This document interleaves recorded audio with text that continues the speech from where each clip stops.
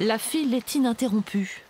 Plutôt classique en période de vacances, ce qui l'est moins, c'est le comité d'accueil.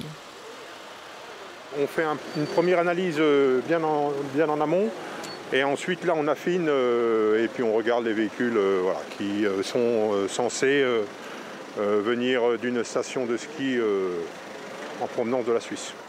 Gendarmes, police et douane pistent le retour des skieurs, ces rebelles qu'il faut débusquer entre frontaliers et touristes en transit.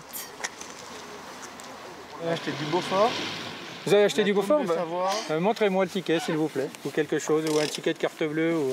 Je peux même vous en donner un petit bout. Non, c'est gentil, merci. Mais on devine, on devine à peu près euh, ceux qui rentrent de vacances et ceux qui ne rentrent pas de vacances. Pour les skis, vous avez euh, tout le, nombre de valises assez impressionnant. Vous avez des gens qui sont un peu emmitouflés dans leur, dans leur tenue de ski. Euh.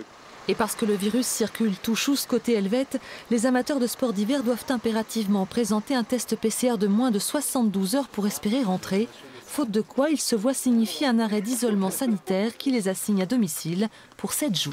On s'est fait tester avant de, venir. On a tous été négatifs, voilà, histoire de savoir qu'on ne créerait pas un cluster ou qu'on n'apporterait pas le Covid.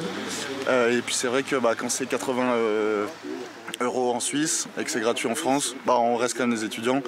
Et donc euh, bah, on préfère forcément ne pas payer. Pas de consigne en revanche pour les Suisses, pourtant nombreux à passer la frontière. Je ne suis pas épidémiologiste, mais en tout cas, euh, aller faire euh, ses courses pour euh, une demi-journée dans des conditions qui sont cadrées sur le plan réglementaire, c'est évidemment moins risqué que de retourner travailler avec des gens pour les infecter dans les conditions qu'on connaît, avec la circulation virale qu'on connaît dans le département du Doubs et en France en général. En deux petites heures, la préfecture a signé une vingtaine d'arrêtés d'isolement. Étrange fin de vacances.